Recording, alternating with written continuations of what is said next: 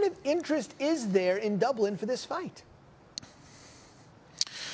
Well, welcome to Dublin. I'm here in front of the Samuel Beckett Bridge. It is absolutely stunning up here. In terms of interest, there is a lot of interest around McGregor. There's also a sense of intrigue. I was chatting to a few of the journalists earlier today, and it seems there is a kind of a split around the 35 year old age mark. For those under 35, they are absolutely mad for Saturday night's fights. They absolutely adore Conor McGregor. They see the way that he has managed to come from next to nothing and emerge as one of the true global superstars of sport. For those over 35, perhaps there's a little bit more ambivalence. Some of his language is sometimes a bit of a deterrence.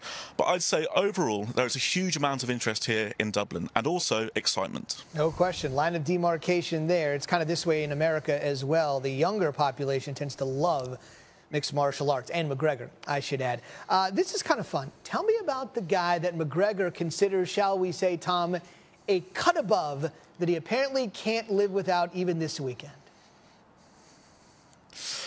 So earlier today, we paid the Old County Barbers a little visit in Crumlin. And now this is where Conor McGregor gets his hair cut.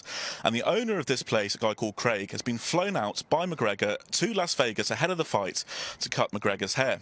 Um, the front of the shop is a picture of McGregor and Mayweather together. And inside, it's just beautiful. It's an absolutely stunning venue. But this is something Conor McGregor does a fair bit of. He's also flown over a guy called Mick Constantine.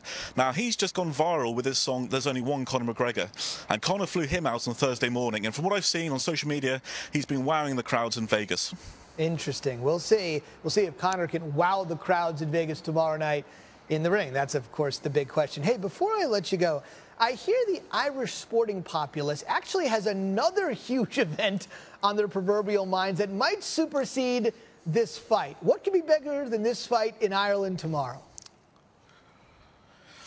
So this weekend there are actually two Gaelic football semi-finals. On Saturday there's one at Croke Park, and on Sunday there's also one there between Dublin and Tyrone. And it's Dublin, the team here, which are there's are real local favourites here.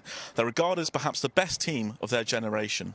And with 73,500 people expected in Croke Park, on the newspapers here at the moment, you can see McGregor and Mayweather, but Gaelic football seems to be the dominant story in town.